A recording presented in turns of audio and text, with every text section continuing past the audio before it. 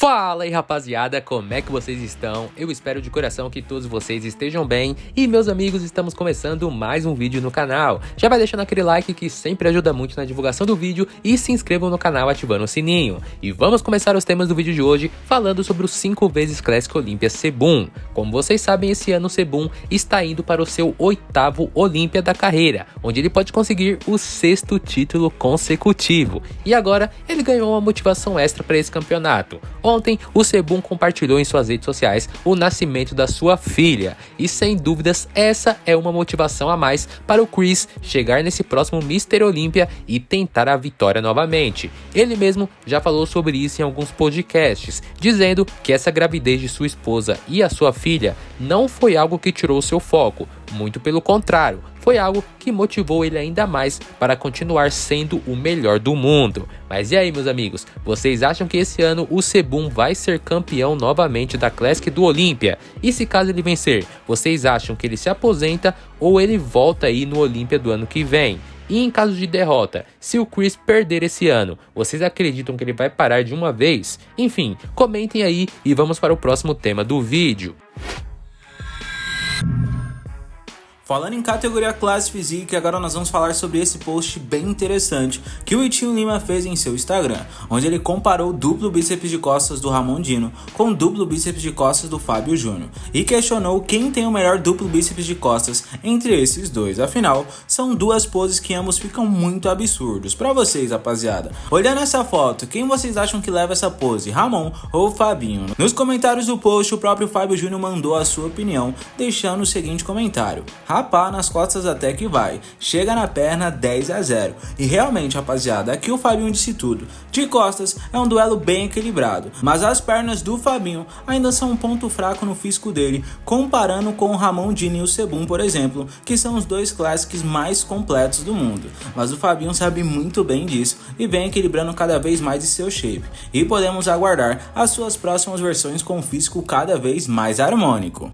Bom, e quem clicou nesse vídeo para saber quem é o Classic Physique brasileiro que tá pesando 131 quilos em off-season? Vamos falar desse cara agora. Na capa nós colocamos aí Ramon, Zancanelli, PH Clássico e o Tenente Breno para gerar uma curiosidade em vocês. Mas o Classic Physique brasileiro que está aí com 131 quilos, como vocês podem ver, é o Tenente Breno, rapaziada. O Breno recentemente lá nos seus stories postou uma foto se pesando e a balança estava mostrando que ele bateu 131 quilos em off-season. E esse peso para um atleta da categoria Classic Physique é algo realmente bem impressionante, porque tem muito Open que fica com esse peso aí em off-season, rapaziada.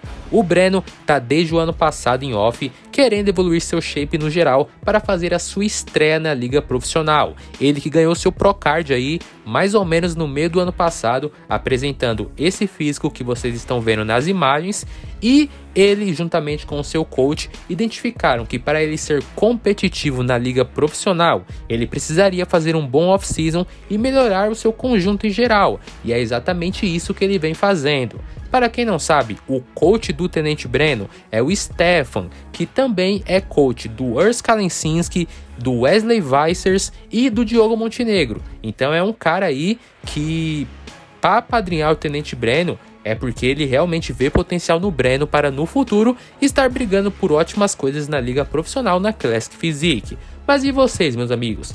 Após esse off de mais de 130 quilos, o que vocês acham que nós podemos esperar do Breno nos palcos? Vocês acham que ele já vai começar a sua carreira na liga profissional competindo em altíssimo nível? Deixem aí as suas opiniões nos comentários.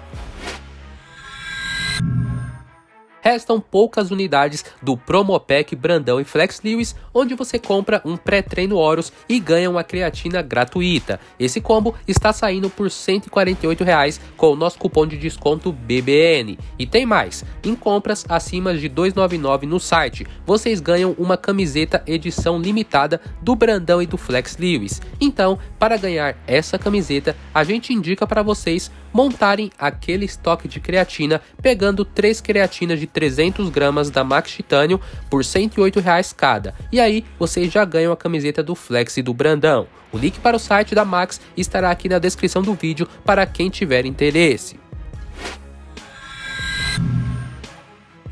Voltando para os assuntos do vídeo de hoje, agora nós vamos falar sobre um jovem atleta gringo que vem chamando a atenção lá da mídia internacional. O Open profissional espanhol John Padrels mostrou seu físico atual e saiu nesse post lá na Ruiz The Best. O John é mais um jovem atleta que tá vindo forte para ter um futuro muito bom na categoria. Ele atualmente tem 28 anos de idade, assim como o Good Vito, por exemplo. É um cara que daqui a alguns anos pode estar despontando no mais alto nível da Open, mas a gente enxerga o John alguns degraus abaixo do Good Vito, por exemplo. E olha que o Good Vito tem só 26 anos de idade. Mas enfim, comentem aí o que vocês acharam do shape deste atleta e se vocês acham ele promissor para brigar no nível Olímpia daqui a alguns anos.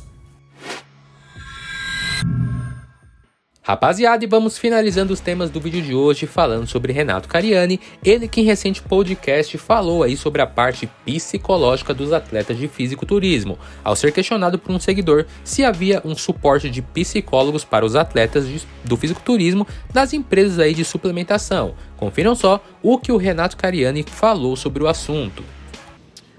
Você acabou de comentar sobre a, a questão psicológica do bariátrico. E a pergunta do Rodrigo é: nenhuma marca ainda trabalhou a parte mental, foco, consistência, motivação, tanto em treinos quanto no dia a dia dos atletas, de forma técnica, com profissionais da área. Vocês têm intenção de dar esse pontapé inicial?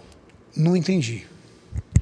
Na, nenhuma marca colocou um psicólogo para cuidar dos atletas. Claro que tem, ele. não está enganado.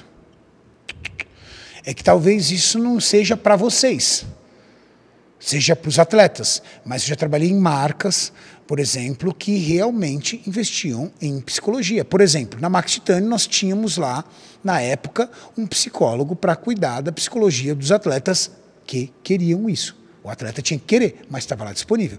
Então, você está enganado. Muitas marcas grandes marcas se preocupam com fatores psicológicos dos atletas, inclusive a própria Growth, porque nós sabemos o quanto isso é importante. Então, talvez isso não fique ali nos bastidores, porque é algo muito intimista, né, cara? Você não vai ficar expondo a parte psicológica e emocional dos atletas. Então isso é uma coisa para ser feita nos bastidores. Imagina, por exemplo, pegar um dos atletas do nosso time da Growth e mostrar ali o trabalho psicológico, emocional que ele está fazendo. Isso não é legal. Mas tem sim, tá? Tem sim. Isso é muito importante.